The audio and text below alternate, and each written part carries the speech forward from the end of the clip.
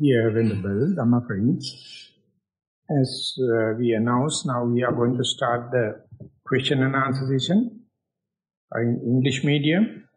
I would like to invite Aruna uh, to present the question already presented, written and presented. Uh, with your permission, Venerable Bante, there are two questions today, one in English and the other in Sinhala. So I'll start with the English one. Teruvan Saranai, Avasarai Swamin Mahansa. When I got a Kamatahan last month, I, uh, there I am experiencing calmness in the mindfulness in day-to-day -day activities. Swamin Mahansa, you asked a question whether I am experiencing a difference in Sakmana or Pariyanka, which I did not understand.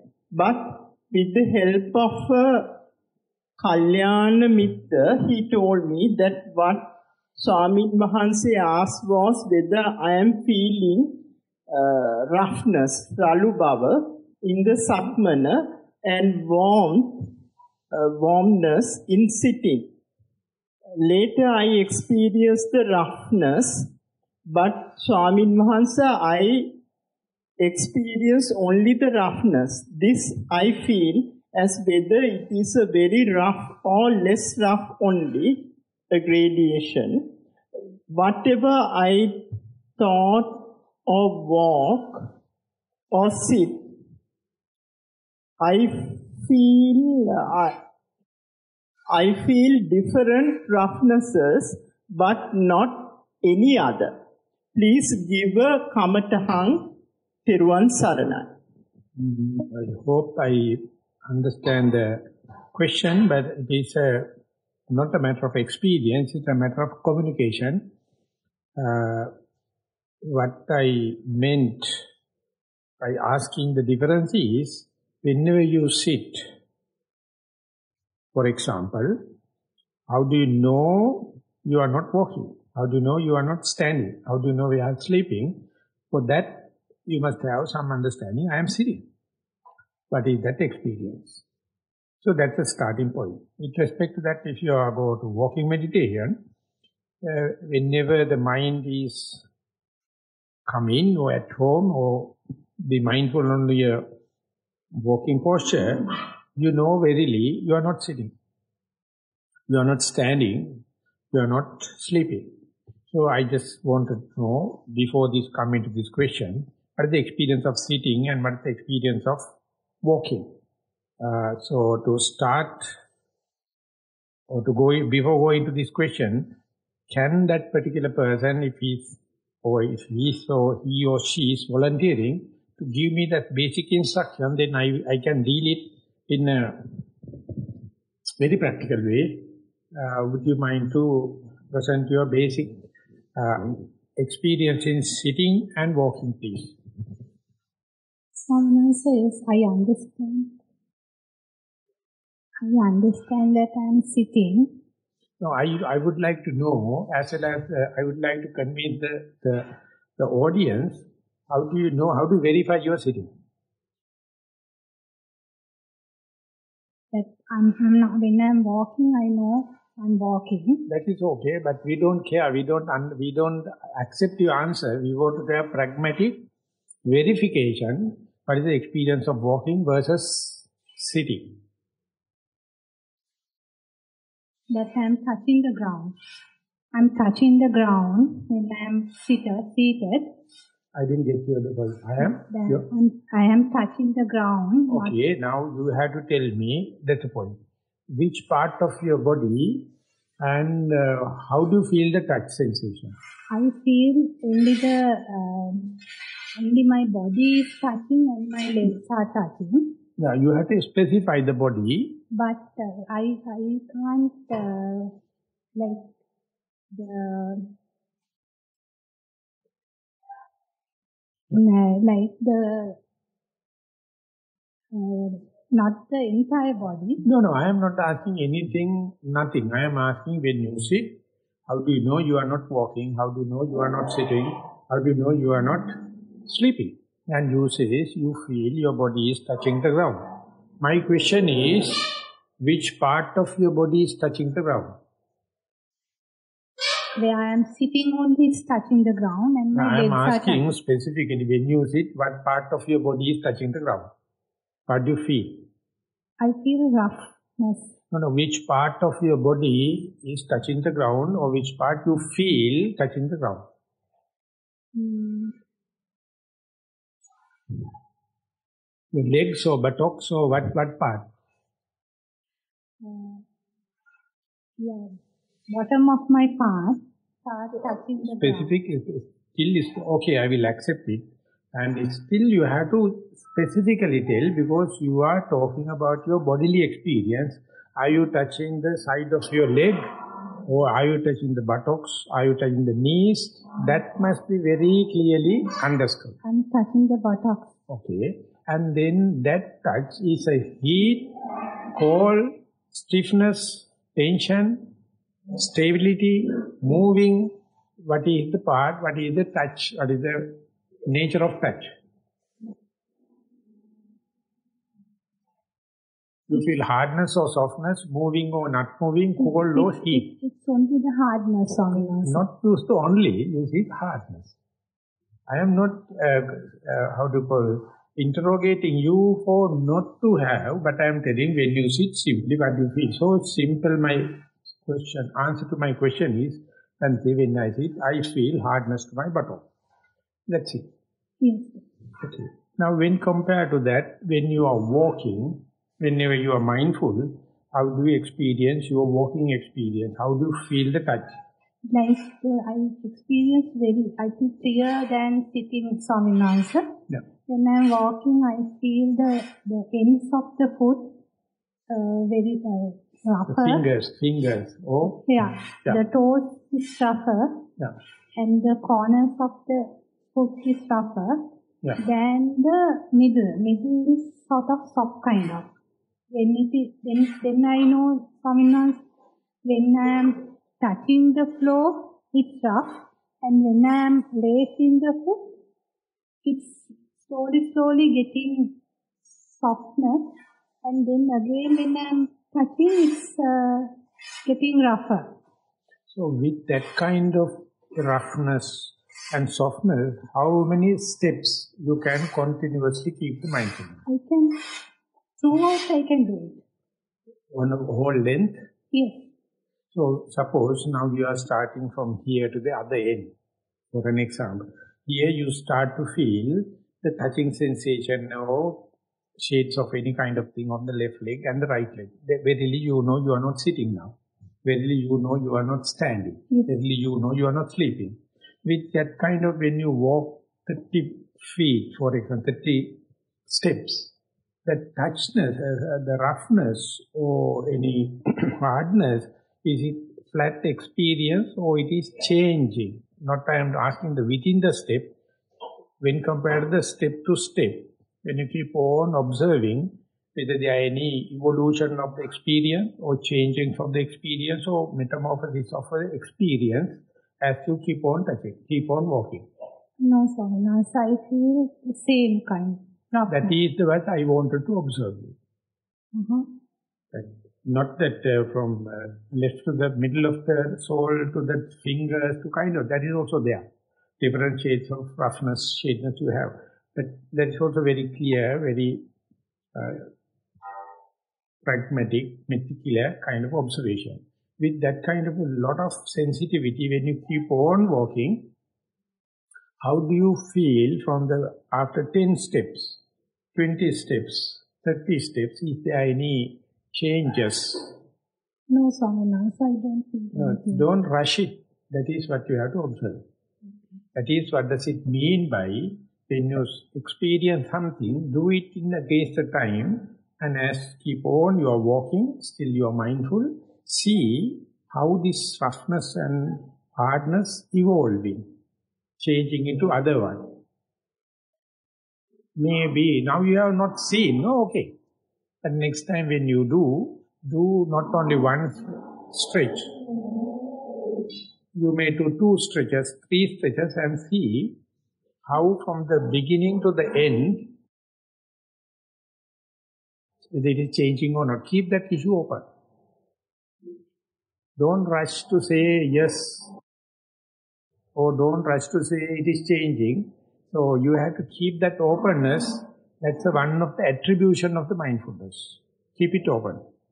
And when you are sitting, if you feel the touch of the buttocks, when you keep on 10 minutes, uh, 5 minutes, 10 minutes, whether it is increasing or changing into another kind of uh, sensation, all the kind of evolution with time, that's a very sharp experience, very difficult.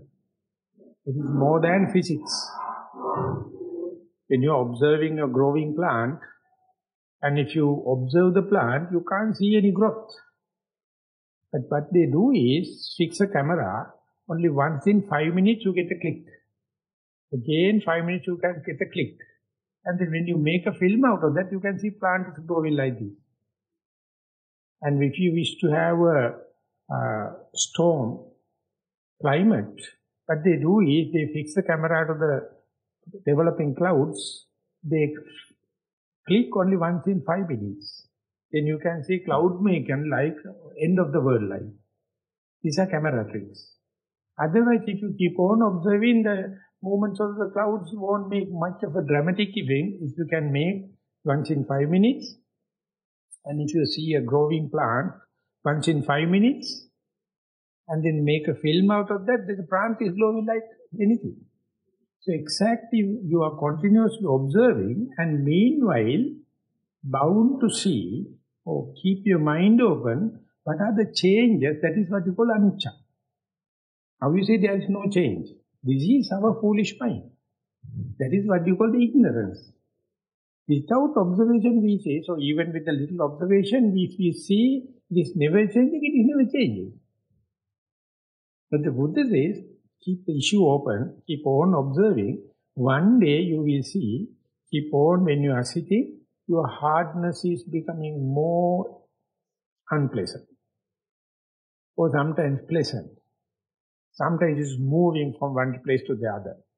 Sometimes it is in a one patch or in area. So a lot of variables are there. Each and every variable is witnessing you, things are not permanent. Swami when I am in the Pariyanke, now I concentrate my Swami then if I think that the, the roughness in the buttock, I get a terrible pain. Then I feel I'm doing, it. it's unbearable. So I change back to that calmness. Never mind that, uh, that changing to the unbearable pain, it's a kind of uh, under the nose, it's a truth. That you hate it, and even unbearable. So what you can do is you are changing the posture. Instead you like calmness that calmness cannot live without this terrible pain. Terrible pain can't live without the calmness, they are reciprocal.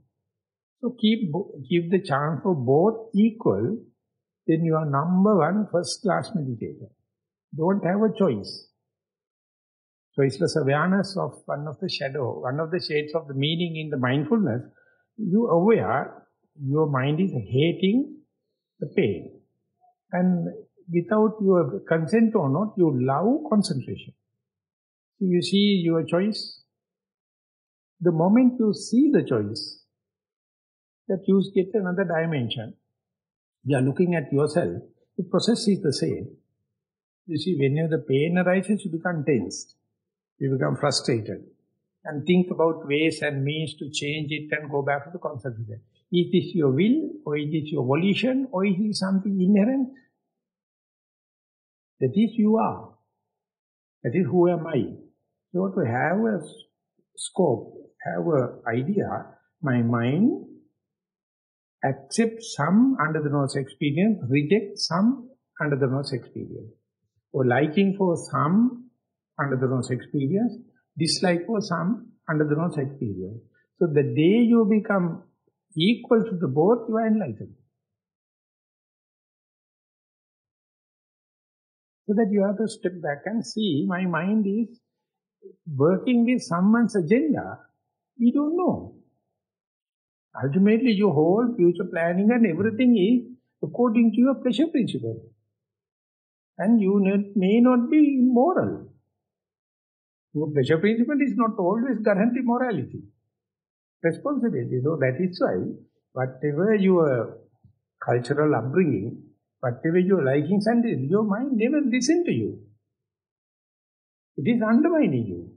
So always putting you into the pressure principle, the Buddha says, look at it, observe and object, object, observe continuously, and lot of things are happening without your uh, volition and will, selective absorption is there, selective preference is there.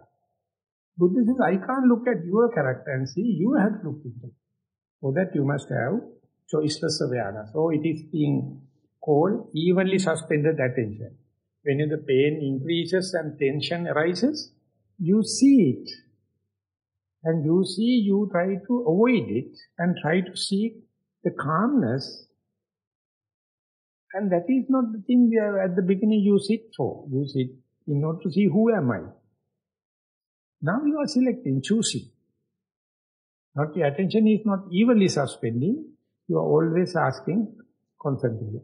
Under such circumstances, why you are blaming alcoholics, people? Yeah, behind the people behind alcohol also the same. People behind drugs also the same. People on womanizing also the same. But maybe they want to be calm and happy. They don't care about the social values. But whenever we select calmness against bodily pain, we think our thing is justifiable. Or may or may not be, you have not thought about that. That's the beauty of mindfulness. Uh, observe one thing, it is difficult thing, I accept it. So already you have agreed now. When you observe it, there are two kinds of experience. One thing is with likings, other thing is disliking. And how it works, how it proceed, if you think it is under your control, you are wrong. It's completely, you are like a bull with the uh, reins and it is pulling you to the pleasure principle. Whenever someone is doing, you criticize. When you do, you don't criticize. That is what the Kamatan Sutta karma. You have to report, when I see this is what I feel. As the time passes, the, the pressure at the beginning was neutral, later it become painful, and I have kind of a desire to go to the calmness. And therefore, you never see the beginning, the middle and the end of the pain. At the middle, you give up, escape into the calmness. And you justify, I am not, I am critical.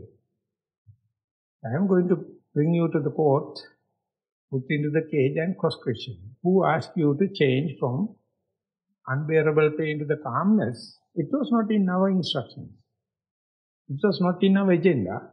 But you see the cunning mind, with the cussed mind, you need, you see the agenda behind, this is what you call Mara. This is what you call Kilesa. So, as far as you know Kilesas, you are better off. As far as you know your Mara, you are better off. Because you know the enemies, how grand you are, how powerful the enemy is. So therefore it is working not with open ticket, it is doing always behind you. So for that, not only you experience sitting experience and walking experience, against the time or chronologically you see how it is evolving. When it is evolving, you see how pleasure principle is working. So imagine if you are a person with the samatha bias person, concentration kind of people, you will never criticize your behavior. You think concentration is good, it is innocent one, why not I go for the concentration? You never see the hatred to the pain. So you only you see 50% of your game, still paralyzed. I don't say, I don't criticize that liking for the concentration, okay, but this is escapism. You are, you fail to see the beginning, the middle and the end of the pain. Without that, how can you understand the truth of suffering? Avoiding it. Going to the pressure principle, just like America. This is what happens in America. Do you get the point? So that is what I, what I mean. Whenever you see observe, observe, object, see chronologically, not only the object, see it is evolving, is changing. And the moment you see it is changing, you are in vipassana. You started your journey. But if you hate changing, you will report nothing changed, exactly the same. That is because your foolish mind, stereotype mind, you hate anicca sanya, you prefer nicca sanya, but it is not your manipulation.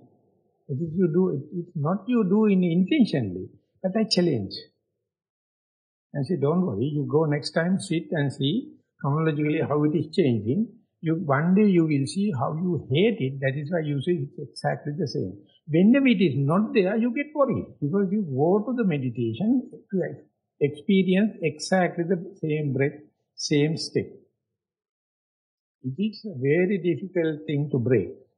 If you go openness, anything happen and ready and greatest thing is reporting. When it is happening, if you can report, you are almost enlightened. But we, not a single one, sharp in this communication. This is the Maras, this is the racket. So the Buddha is in a such a way, he gives null hypothesis. He says, darling, you sit and see to change it, not to say not to change. Changing, it is the improvement. This is called vipassana. So if you go to sit with that openness, you can see the first step is different from the second step, third step, fourth. And you are so living, so vigilant, so diligent to see. Otherwise you are going to report, no, no, each and every step is equal, then what to do? That is what called stereotype, it is called case hardening. Because you go with the idea, it is not changing, it must not change. That is called fundamentalism. Or that's called stereotype. Total Buddhist world is such. Other people very easily I can understand because they don't have preconceived ideas. Does anyone understand when the from the right from the sunrise it is changing? The people say no no sun is fixed. But by looking at you can't see. It has to compare with something, then only the relativity can happen. And right from the beginning you see nothing in this world permanent. Everything is changing. Under such circumstances, ego is the only one claim permanent. From that ego point of view, if you look at the world, you see permanent. Buddha says that is foolishness. That is ignorance. That is desire. Look at from the impermanent point of view, you are a yogi, you are a vipassana person, anything change doesn't matter because you are ready to accept. Okay?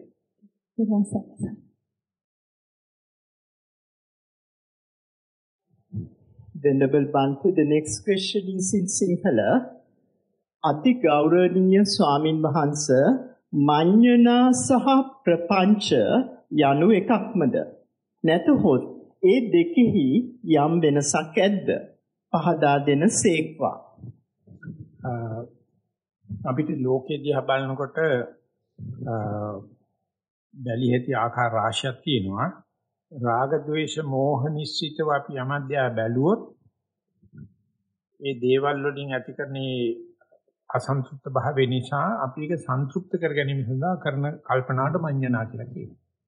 රාග ద్వේෂ මොහ නිසිතෝ මේ මල් ටික දිහා බැලුවොත් ඉතින් මල් ටික තර වෙන්නේ නැතුව තියෙනවා නම් හොඳයි කියලා හිතනවානේ. දැන් මේක පර වුණොත්ම නේ මේක අප්සෙට් එකේදී ඒක පර නොවීම පිණිස ඒක එයා කන්ඩිෂන් කරාන, හියුමිඩිෆයි කරාන, ආලෝකෙ වැටෙන්නේ නැතුව තිබ්බනම් කියලා මේක අර නිත්‍ය සුඛ සුභ කරන්න අපි নানা ආකාර මේ දරා ගන්න බැරි දෙයක් කරගන්න බැරි දෙයක් කරන්න රාගෙන් ද්වේෂයෙන් මොහෙන් නිස්සිතව ඒක දිහා කරන දේවල්ට කියනවා මඤ්ඤණා කරනවා කියලා. ඒක ඒක අනිත් පැත්ත අභිඥා අභිඥාව කියලා කියන්නේ මේකේ තියෙන පරවීම පිළිගන්න ලෑස්ති. ඇති හැටි පිළිගන්න ලෑස්ති. එතකොට අභිඥාව තියෙන කෙනාට මඤ්ඤණා කරන්න බෑ. මඤ්ඤණා කරනකොට අභිඥාව එන්නේ නැහැ. මේක මේක මැරෙන්නේ නැතුව තියාගෙන ඉන්නවා සදාකාලික කරනකොට තටමන හැම වෙලාවකම වෙන්නේ මේකදී ඇති හැටි බලන්න හම්බ වෙන්නේ මේ දකින්න දෙයට ද්වේෂය තියෙනවා. ඉතින් ඒ කටයුත්තේදී අපි දැන් මේක පර වෙන්නේ නැතුව තියාගන්න මේක එයා කන්ඩිෂන් කරන්න ඕනේ ඩියුමිඩිෆයි හියුමිඩිෆයි කරන්න ඕනේ ආලෝකය නැති කරන්න ඕනේ ආදි වශයෙන් කරන හැම ක්‍රියාවක්ම කවදාකවත් yaadෙන්නේ නැහැ නේ මේ කුෂ්ඨ රෝගියෙක් රත්තරන් ආභරණලාට සරකුවාට කාදාල් ලස්සන වෙන්නේ නැහැ නේ. ඉතින් ඒ නිසා අපි ඒකේ ගැළපිලා කතන්දර ගොතන්න පටන් ගන්නවා. ඒක දිගේ අපි සැලසුම් හදනවා. ඒකට මඤ්ඤණා ප්‍රපංච කරනවායි කියලා කියනවා. කෙටියෙන් දතදියෝ මේ අනිත්‍ය භාවය පිළිගන්නේ නැතුව මේක නිත්‍ය කිරීමට ගහන තොරක්. මේ කරන පටලවිල්ලට ප්‍රපංච කරනවා කියන්නේ ප්‍රපංච යාන්ත්‍රණය තමයි මඤ්ඤණා කියලා කියන්නේ. ඒක නිසා බුදුසසුන කියනවා යේන යේනෙහි මඤ්ඤන්ති තතෝ තං හෝති අඤ්ඤතා. අපි මේ මල්වට්ටිය දිහා බලලා මේක පර වෙන්නේ නැතු වෙන්න හිතනකොට අපි අනිත් ලෝකේ අමතක කරනවානේ.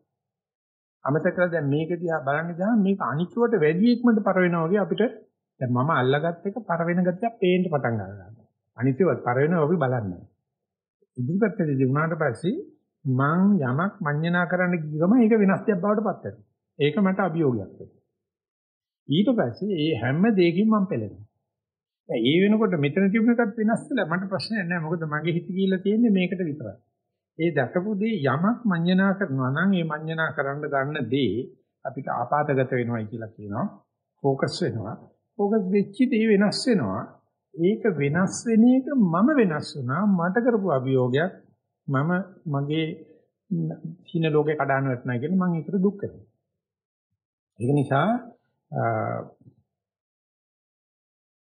නිවිත්තං නාබ රූපස්මින් පස්ස ලෝකං සදේවකං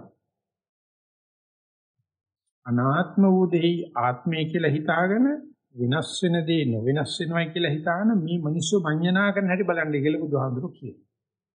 ඒ මඤ්ඤණා කිරීම නිසා කොච්චර චිත්ත පීඩා ගන්නවද කොච්චරක් අසහනය අර ගන්නවද මේක මේ නාම රූප කියන එක කොයිලත් වෙනස් වෙන එකක්.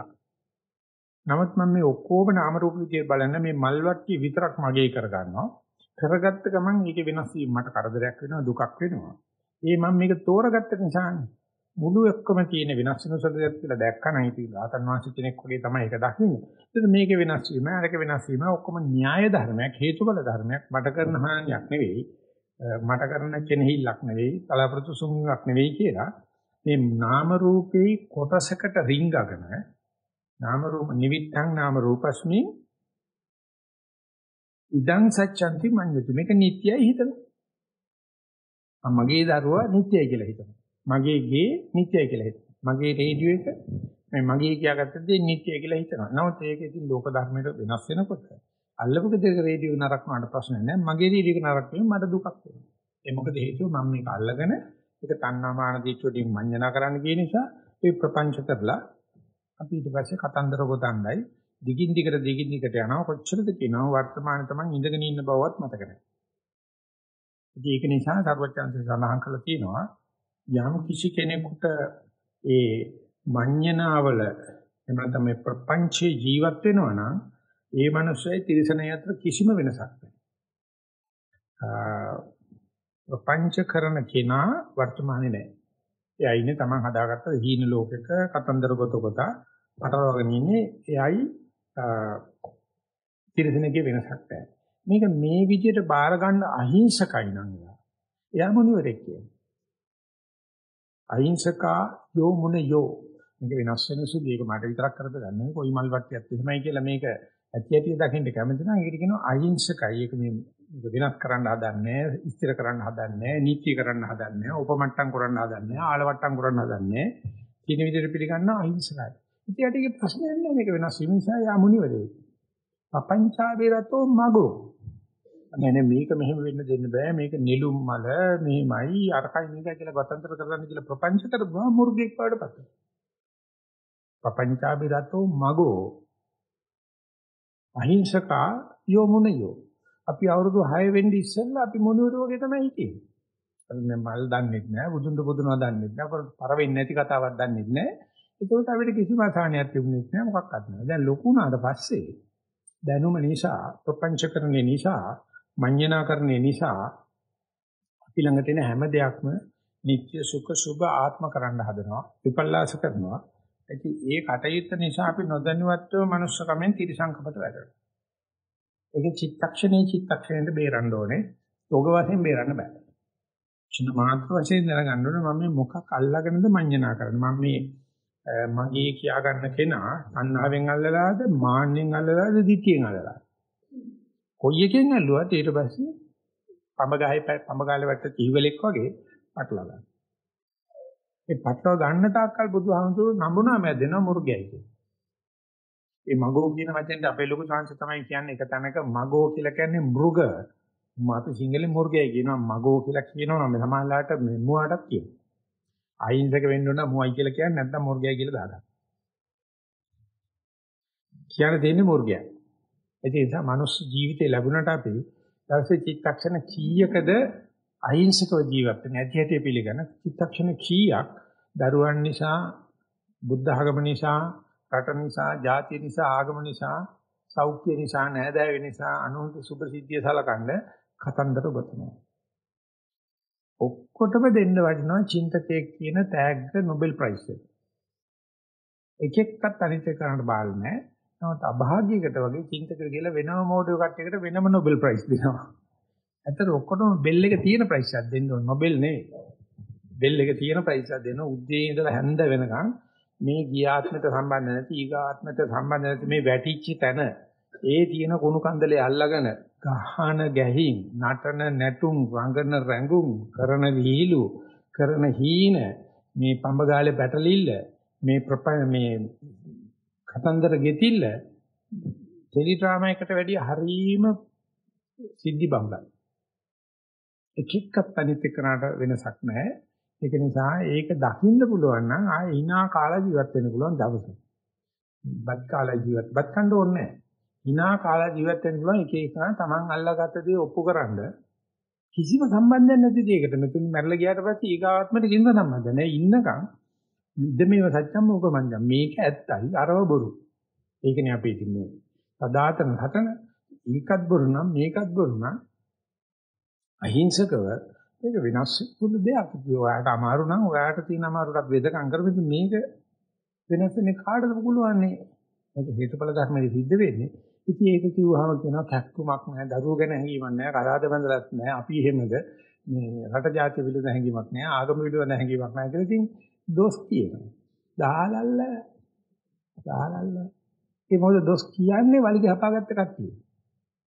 ඒගොල්ලෝ තමන්ගේ වලිග උඩ වාඩි වෙලා ඉන්නේ තිබෙනවා ඒගොල්ලන්. ඉතින් වලිග පැත්තකට දාලා වාඩි වෙච්ච කෙනා හිතෙන්නේ නැහැ. ඉතින් අරගොල්ලෝ කියනවා අපිත් එක්ක ඉන්නවනේ රිදෙන්න ඕනයි කියලා. චක්කුමක් තියෙනවා. ඉතින් චක්කුමක් තියෙන වලිගොඩ වාඩි වෙච්ච කට්ටියට ඒක කියනවා ප්‍රපංච කරන මිනිස්සයා. එතන තමයි මඤ්ඤණා කරන මිනිස්සයා.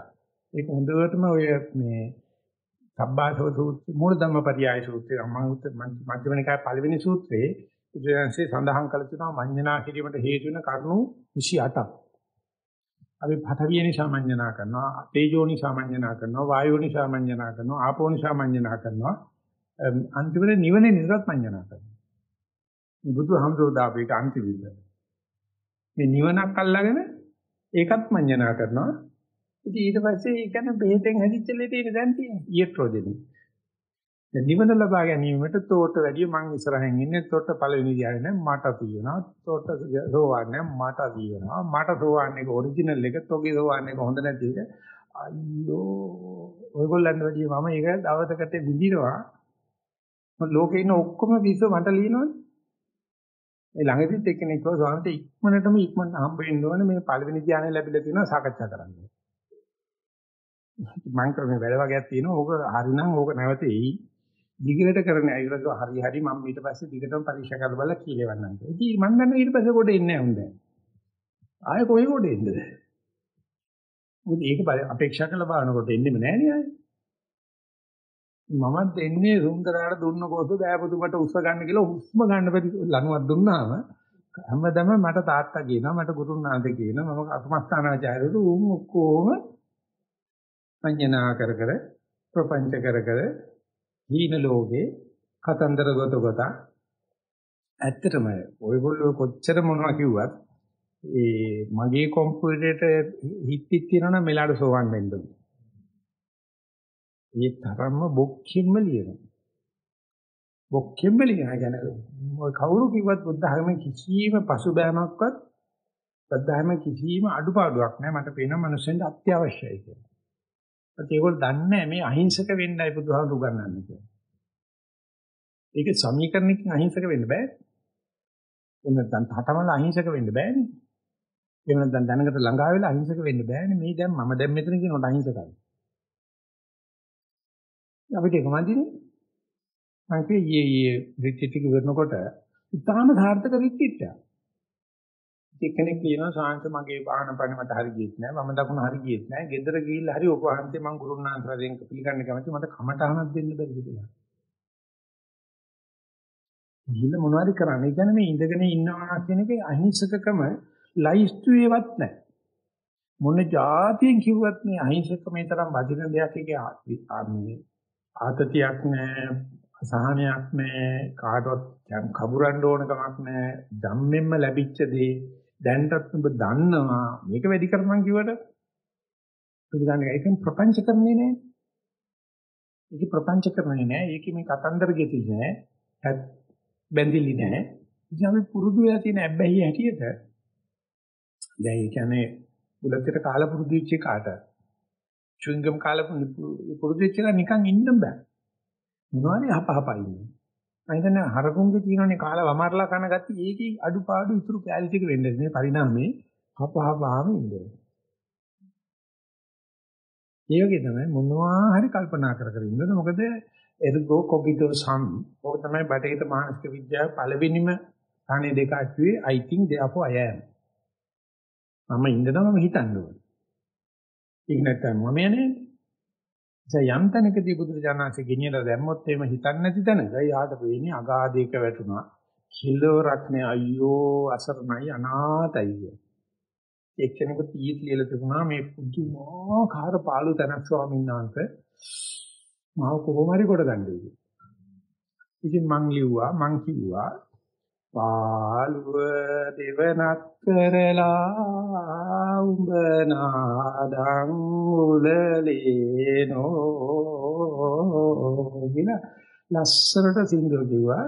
උඹට පිහාතුයි මාත බල්පතයි තියෙන්නේ. සීතල සුටඟ ඉරිකඩ දෙන්නටම තියෙන්නේ. උඹටත් එක්කලයි මම් පැල් කවිය කියන්නේ උඹ නාඩං උලලේනෝ කියලා. ඉතින් ආවිත හරි පාළුයි මේ නිවනට පාළුව කියන දන්නේ නැහැ. මේ පාළුක මෙන්නේ නිවනේ පෙර ලකුණක් විදිහට අපිට ඕනේ ඒක අයින් කළ ප්‍රපංච කරන්න. ඒක දිහා බලනකොට ඉනා කාලා ඉන්නවා. මම මෙච්චර ජොලියේ ඉන්නේ කොහොමද කියලා දෝගල හිතන්නේ. අර අයිරි ශාමදෝක කියනවා වහන්සේ අවුරුද්දකට එක දවසක්වත් මේක ගන්න නැද්ද කියලා. එක දවසක් මම කු විවේක ගන්න මෙච්චර ජොලියක් හම්බ වෙනකොට නිකන් මොන විවේකේ වැඩ කරන පිරිසක් එක්ක ඉන්නකොට ඒගොල්ලෝ මේ අමර අමර මිරික මිරික පව් අමරන හැටි මේ දුක් කරදර හදන හැටි කෙලස් වවන හැටි දිහා බලනකොට තවත් තවත් ලෝකයක් මොකද වෙන ලෝකයක් මොකද ඒක නිසා දවස පුරාම අවදිින් ඉන්නේ මොකද මගේ හිත ප්‍රපංච කරනවා මගේ හිතෙත් වැඩේ පාළුවට තිබ්බකම ප්‍රපංච කරනවා ඉතින් විදිහෝ නෑ වැඩ කරන පිරිසක් එක්ක හිටපුවාම ඒගොල්ලෝ අහිංසකෝ ඒ වාර්තාව ඉදිරිපත් කරනකොට මට තේරෙනවා මේ කියන්නේ මගේ හිතම තමයි. ඒක නිසා වැඩ කරන පිරිසක් එක්කම ඉන්න ඕනේ. ඒ ප්‍රපංචකරණයේ ඒක ඉවර කරන්න ඉස්සලා කියන්න ඕනේ තේරවාදයේ හැලිච්ච කැලලක් ඔය. ඕක ඇත්තේ නෑ තේරවාද. ඔක තියෙන මහායානේ ඔක පොඩ්ඩක් තියෙනවා මදුපිණ්ඩික සූත්‍රයේ. ඒක මේ අපේ කටුකුරුන්ද ඥානස්වාංශයේ ලියලා තිබුණා concept and reality කියලා මේ ඊයේ ආව මට ඒකේ සිංහල පරිවර්තනයේ යථාර්ථය සහ සංකල්ප කියලා මම හිතන්නේ ඒක කියවන්න පුළුවන් කියලා කිව්වොත් බඩේ ලියන. පුදුමාකාර භාෂාවක් තියෙන්නේ. පුදුමාකාර ත්‍රිපිටකයේ අඩියට ගිහිල්ලා තියෙනවා. මහායාන තොරතුරු ඔක්කොම දීලා තියෙනවා. ඒ සාංශ යුනිවර්සිටි එකේ ඇසිස්ටන්ට් ලෙක්චර් කෙනෙක් ඉන්නකොට හදපු තීසිස් එක PhD එකට. ඒකට ප්‍රොෆෙසර් කියලා තියෙනවා. ඌව වැඩක් නැහැ කාටවත් දෙන්න මේ දාහනේ ගැන පුළුවන් නම් තීසිස් එක ලියන්න මේ ශාංශේ සිවුරු දාගත්තා. යුනිවර්සිටි මොකද අයින් වුණා. ඒක මේ ශාංශිකාව බීජේ තියෙන බව ඥාන ඥානලෝ ඥාන පෝණික සංසය දැනගත්තා. කිහිල්ලා දොඩම් මේ දොඩම් දුවට ගිහිල්ලා කිව්වා ඒ ප්‍රොපෝසල් එක මට දෙන්න කියලා. පස්සේ ඇවිදලා මේ සාර ප්‍රොපෝසල් එක ලියුවා. ලියලා ඥානපෝණික හැමෝටම ඊපස්සේ ඒක හදලා දීලා අර ප්‍රොෆෙසර් ගිහිල්ලා දවසක BPS එකේ මේ පොත තියනවා දැකලා කියවලා තියෙනවා. ඊට පස්සේ කල මේක ඉන්ට්‍රොඩක්ෂන් එකට PhD හතරක් දෙන්න වචන කියනවා. ලංකාවේ පලාතක නැහැ. ඒක මම කියනවා ඒක මම රෙකමන්ඩ් කරත් කාටවත් කියවන්න හිත දෙනෙකුත් නැහැ. මොකද එතකොට ඕගොල්ලන්ගේ හීන ලෝකේ කැඩලා වැටෙනවා. ඕගොල්ලෝ කැමති නැහැ ඒකට ඕගොල්ලන්ට ඕන කරලා තියෙන්නේ ඉඳ අරින්න මට දකින්න මගේ හීනේ. ඉතින් මම කිසිම ඉරිසියාවක් නැහැ ඕගොල්ලොත් එක්ක ඕගොල්ලෝ කැමති හීනයක් දැක ගන්න. හැබැයි මයිත් එක්ක පොඩ්ඩක් බෙදා ගන්න මොකද එතකොට මගේ හීන ලෝකේ කඩා වැටෙනවා. ඕගොල්ලෝ තනියම හිතාන හිටියොත් මම මගේ හීන ලෝකෙට යනවා. ඒ නිසා වැඩ කරන පිසක් ඉන්නකොට අපි මේ කතන්දර ගොතන හැටි පටලවා ගන්න හැටි අනවශ්‍ය දේවල් ඔළුවේ දාගෙන මේ අපි වර්තමාන මොහොත පන්න ගන්න හැටි අහිංසකම නැති කරන හැටි දකිනකොට බුදුහාමුදුරුවෝ දී තියෙන පණිවිඩේ ස්වභාවය අන්තික බුදුරජාණන් කොහොම ඉස්සලා හොයාගත්තද? ඊට පස්සේ මේ හීන ලෝකේ ඉන්න මිනිස්සුන්ට කොහොම ඔළුවට තට්ටු කරලා කියලා දෙන්නේ? ඔබ ඉන්නේ හීනෙක කියලා. ඒක නිසා මම සතුටුයි මේ ස්වාමීන් වහන්සේට එක්ක ලියන්න. එහෙම නැත්නම් මෙතන ඉන්න කට්ටියකින් එක්ක අරුණට ලියන්න එහෙම නැත්නම් හේමහන්ට ලියන්න නැත්නම් මේ ස්වාමීන්ට ලියන්න නැත්නම් මට ලියන්න. එතකොට මම දෙන්නම් මේ පොතක් ලබා ගන්න හැටි මම මට විශ්වාස නැහැ ඒක කියවන්න පුළුවන් වෙයිද කියලා. ගරු ස්වාමීන් වහන්සේ මේ concept and reality එක ළඟදී මේ සිංහලට දාලා තියෙනවා. ඊ ආවේ. ඒක මට ඊමේල් කරලා එව්වා මේ e-book එක එතකොට e-book එක ඕන කෙනෙකුට e-book එක දෙන්නත් පුළුවන්. කොහොම හරි ගිය සැරේ ධම්ම නිවුස් ලෙටර් එකේද කොහෙද මම දැම්මා ඒකේ කොහොම හරි ඒක පොත හම්බුනොත් අර දිවයට තියෙන පෙත්ත තියෙන. අන්න ඒක තියාගන්න. මුකුත් නැහැ කතා දෙකක් නැහැ. ඒක කියවුවොත් එයාට heart attack ආවේ නැත්තම් පුදුමයි. ඒ දිවයට තියෙන පෙත්ත TNT කියන එක පෙත්ත දන්නවම හිතන්නේ කවුද? ඒ පෙත්ත තියාගන්න ළඟ තියාගෙන පොත කියවන්න එහෙම නැත්නම් ඔය දන්න සෙල්ලම කරන අපි සාමාන්‍ය සෙල්ලම්පත්තු යන ඉමු. අපි දන්නේ ඊනේ ඉමු. වැඩිපුර යන්න ඕන නම් අතෙන් යන්න හැබැයි මං කියනවා මේ TNT පෙත්තක් ළඟ තියාගන්න. මොකද ඒක කියවොත් heart attack එනවා. මේ මේ ස්වාමීන් වහන්සේට ඒ තරම්ම නිග්‍රහ කරා. ඥානানন্দ ස්වාමීන් වහන්සේට මේ මොනවද මේ ඉදිරිපත් කරේ කියලා. ඉතින් ඒ ශාන්තික පොත් කියවන කට්ටිය විහිළු කරනවා. නිකම්ම නිකම් ඥානানন্দ භික්ෂු. PhD ත් නැහැ, ප්‍රොෆෙසර්ත් නෙවෙයි, මහාචාර්යත් නෙවෙයි, මොකක්වත් නැහැ. ඥානানন্দ භික්ෂුව. ඉතින් මේ වගේ පොත් කියවන්නේ කවුද?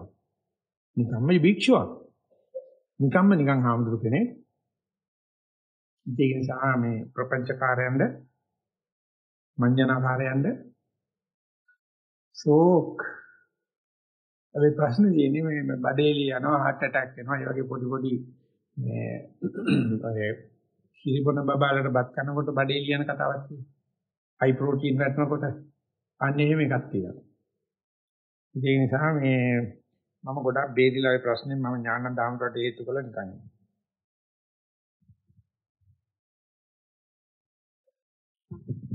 ස්වාමීන් වහන්සේ පොත ගැන කිව්ව නිසා මට සමා වෙලා මේ ප්‍රශ්නයක් මට ඒ පොත කියෙව්වා මට ඇති වුණා ඊටාම සිත් ගන්නසලු කොටසක් තිබුණා මම ඒක අහන්න හිතුවා ඒ පොතේ තියෙනවා අර මතුපිණ්ඩික සූත්‍රයේ ගැන විස්තර කරනකොට පටිච්ච සමුප්පාදේ වේදනා ළඟට එනකල් ඉබේ සිද්ධ වෙනවා. වේදනා?